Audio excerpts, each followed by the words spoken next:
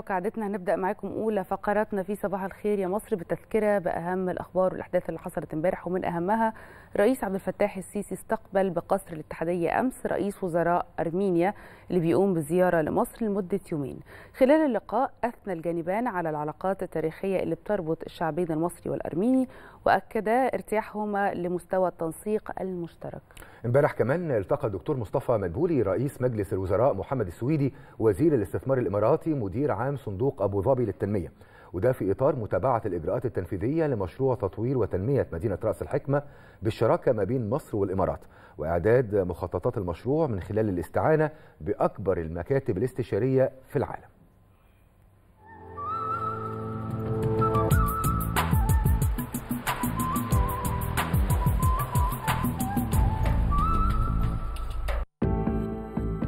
أخبار كتيرة مهمة حصلت امبارح. أبرزها استقبال الرئيس عبد الفتاح السيسي بقصر الاتحادية رئيس وزراء أرمينيا نيكول باشينيان اللي بيقوم بزيارة لمصر لمدة يومين. تناولت المباحثات سبل تعزيز العلاقات الثنائية بين البلدين وأثنى الجانبان على العلاقات التاريخية اللي بتربط الشعبين المصري والأرميني وأكدا ارتياحهم لمستوى التنسيق المشترك. وأيضا تم استعراض التعاون الثنائي وأفاق التوسع فيه بمختلف المجالات بما يرتقي لطموحات الشعبين الصديقين. امبارح استقبل الرئيس عبد الفتاح السيسي الفريق الركن ناصر بن حمد الخليفة مستشار الأمن الوطني وقائد الحرس الملكي وأمين عام مجلس الدفاع الأعلى بمملكة البحرين والوفد المرافق له بحضور اللواء عباس كامل رئيس المخابرات العامة. تناول اللقاء الأوضاع في قطاع غزة وتم استعراض الجهود المصرية للتهدئة والتشديد على ضرورة الوقف الفوري لإطلاق النار وإدخال المساعدات الإنسانية بكميات كافية وبشكل عاجل. كما تم تأكيد ضرورة احتواء التوتر المتصاعد بالمنطقة والدفع نحو عدم توسع نطاق الصراع لما لذلك من عواقب وخيمة على الاستقرار الإقليمي. امبارح عقد الدكتور مصطفى مدبولي رئيس الوزراء اجتماع لاستعراض مقترح تطوير النظام التعليمي للثانوية العامة وأكد مدبولي أن تطوير قطاع التعليم في مصر بيأتي على رأس أولويات عمل الحكومة مشيرا إلى أن الدولة تبذل قصارى جهدها لتطوير مختلف المراحل التعليمية بما يضمن توفير نظام تعليمي متطور يسهم بشكل فعال في تحقيق أهداف التنمية المستدامة. كما أكد أن مقترح تطوير النظام التعليمي للثانوية العامة يهدف بشكل أساسي لرفع المعاناة عن كاهل الأسر المصرية وتحقيق أقصى استفادة ممكنة للطالب. امبارح التقى الدكتور مصطفى مدبولي رئيس الوزراء محمد السويدي وزير الاستثمار الإماراتي مدير عام صندوق أبو ظبي للتنمية وده في إطار متابعة الإجراءات التنفيذية لمشروع تطوير وتنمية مدينة رأس الحكمة بالشراكة بين مصر والإمارات. مع إعداد مخططات المشروع من خلال الاستعانة بأكبر المكاتب الاستشارية في العالم ذي الخبرة الواسعة في هذا المجال من أجل وضع تصور للمخطط العام لتطوير المدينة الواقعة على الساحل الشمالي الغربي.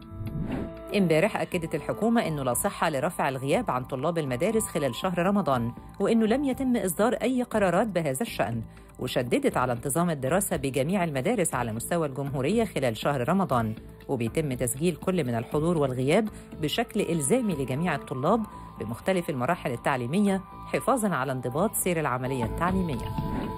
امبارح المتحدث العسكري للقوات المسلحة نشر على صفحته الرسمية على فيسبوك إن الفريق أول محمد زكي القائد العام للقوات المسلحة وزير الدفاع والإنتاج الحربي التقى الفريق الركن ناصر بن حمد الخليفة مستشار الأمن الوطني قائد الحرس الملكي وأمين عام مجلس الدفاع الأعلى بالبحرين والوفد المرافق له اللي بيزور مصر حاليا وده بمقر الأمانة العامة لوزارة الدفاع. تناول اللقاء عمق العلاقات الأخوية والروابط التاريخية اللي بتجمع البلدين الشقيقين اللي بترتكز على أسس راسخة من التعاون والتنسيق وتطابق الرؤى تجاه مختلف القضايا والموضوعات ذات الاهتمام المشترك.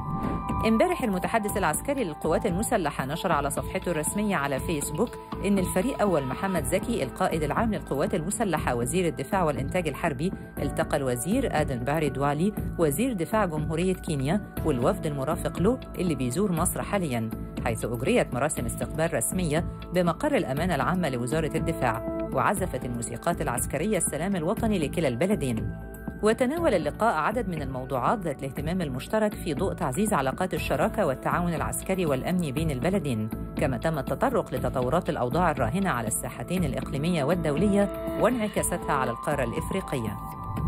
امبارح المتحدث العسكري للقوات المسلحة نشر على صفحته الرسمية على فيسبوك إن الفريق أسامة عسكر رئيس أركان حرب القوات المسلحة تفقد منظومة التدريب القتالي لأحد تشكيلات الجيش الثاني الميداني اللي تم تنفيذها وفقا لأحدث النظم والأساليب ووسائل التدريب غير النمطية. وأعقب ذلك قيام الفريق أسامة عسكر بالمرور على قيادة الجيش الثاني الميداني للاطمئنان على الجاهزية القتالية لهيئة قيادة الجيش. امبارح المتحدث العسكري للقوات المسلحة نشر على صفحته الرسمية على فيسبوك إنه في إطار حرص القوات المسلحة على التواصل بين الأجيال ونقل خبرات القادة السابقين وتجاربهم من جيل إلى جيل نظمت القوات المسلحة زيارتين لعدد من قادة القوات المسلحة السابقين وأسرهم إلى قيادتي قوات المظلات والصعقة تضمنت الزيارة عروض تقديمية عن نشأة وتطور قوات المظلات والصعقة وتنفيذ عدد من الأنشطة والمهام التدريبية التي أظهرت مدى ما وصل إليه المقاتلون من مستوى احترافي عالي في تنفيذ كافة المهام التي توكل إليهم بالإضافة لتفقد عدد من المنشآت التدريبية الحديثة التي زودت بها القوات الخاصة. كما تم تكريم عدد من أسر الشهداء تقديرا لما قدموه من تضحيات في خدمة الوطن.